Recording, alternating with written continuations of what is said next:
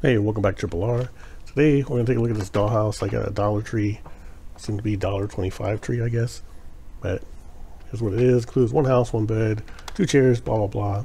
I'm really just concerned about the house, so I bought two of them. You can stack them together to make a whole house, it seems. But we're just gonna concentrate on this one. So of course I don't have any use for a pink and white purple house. So what we're gonna do is we're gonna customize it into a like a, a Halloween more like a haunted looking house in the easiest way possible.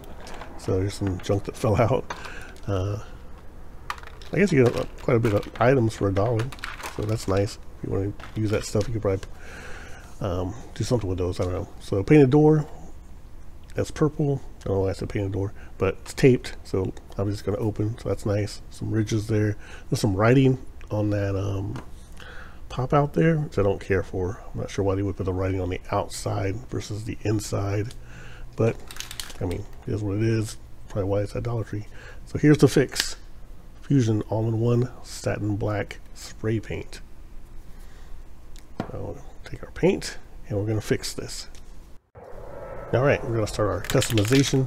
I probably should just say spray painting this thing. We're not really customizing or adding anything to it. We'll paint it all black easy as can be. Try to get all the purple blacked out. Look at that, already looks better. So that color is going to seep through. So you're going to have to do more than one coat, of course, just like anything when you paint it. Uh, so keep doing it, let it dry a little bit. You'll see it seep out, mostly on that pop out with the ridges. Uh, you can see it right now, seeping back to the purple. And we'll give it some more time and spray it again. So do this a couple times. Make sure you get all the so purple out, purple and the white. So I think it looks good already. Um, it's a low investment, some paint, a dollar house here. Has a nice like Halloween gothic look to me. So that's why I picked it up. So look at the sides. And we're gonna tip it up here in a second and get the rest of it. So I'm gonna leave the back unpainted, which I'll explain here in a second. I had to go grab a glove.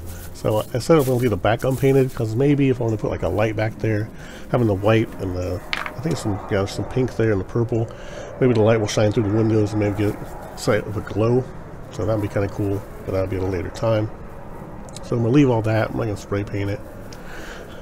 The bottom I'm actually concerned about, so the sides need to be spray painted. See the purple going through, and a bit of the white. So we're going to get these sides here. I black it all out best we can it's definitely easy to do. So you can also get these gloves at Dollar Tree. So they're not great. They, uh, they didn't seep through, so no paint to get on my hand using the glove, which is nice, but they're very, very thin. So almost all done here. Tip it back. Uh, I think the bottom did warp a little bit, as I guess being the wet paint warped it, but Probably easy fix. Maybe take a light or two if you need to. It stands up fine so far. I'm not too worried about it.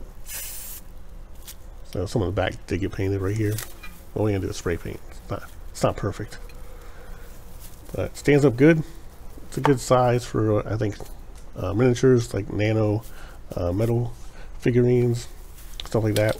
And we'll compare one here towards the end. So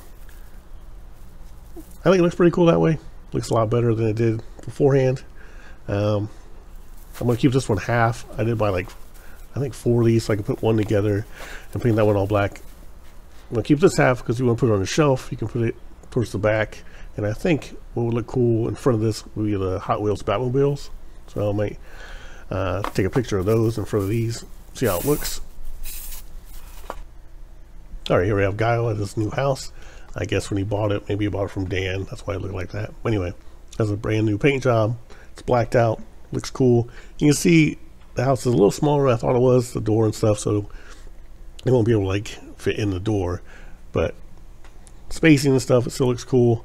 Um, probably when you do a full house, it looks even better, but I think this on the shelf would look cool. Uh, I think it'll even look even better with the Batmobiles sitting in front of it. Don't want to have one on hand at this time, uh, but I will be doing that so for a dollar investment, I think it looks pretty cool for Halloween uh, or anytime for like maybe a Gotham City you want to put together. So thanks for watching Triple R. Have a good day or night wherever you are.